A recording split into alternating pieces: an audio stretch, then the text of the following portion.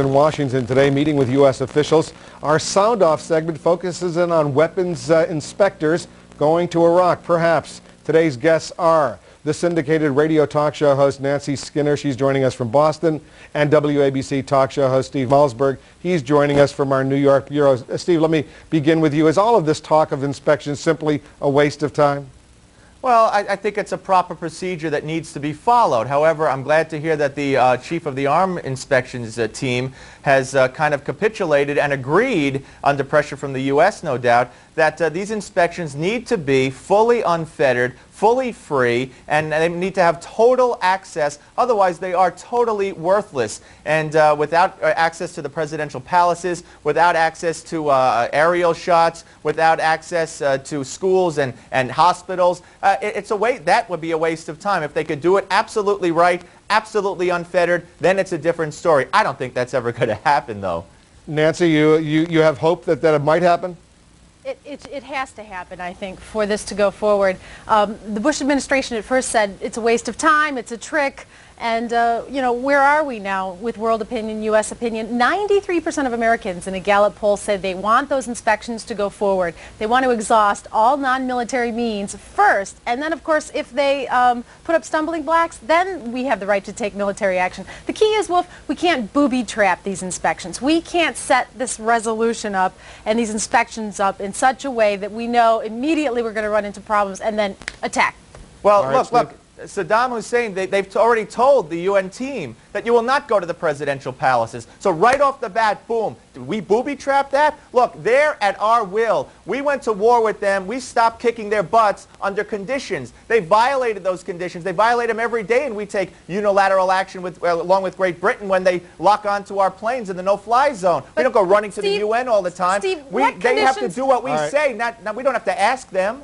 What conditions Nancy, do go we ahead. go to war over? See, that's my concern. This House resolution that was passed supports military force to, uh, to enact all relevant resolutions. Well, does that mean we have to go to a war if Iraq does not pay Kuwait reparations? Does that mean that we can attack then? Or if they are sneaking oil outside of the restrictions, does that mean that's good enough because they've broken that to go to war? I don't think so it means we can under that resolution. It doesn't necessarily that's mean we will. Then. But the fact is he's never going to give us the unfettered access, so that's going to be a moot point. Right. Look, yeah. L let, me, let me interrupt. I got some emails. Our viewers are sending us tons of emails. Nancy, this is for you. Saddam is talking through uh, the side of his mouth. He first said inspections could be unfettered. Now he says no inspections of palaces. He is using stalling tactics. The only language he knows is force, so we should use it. That's a view out there, Nancy.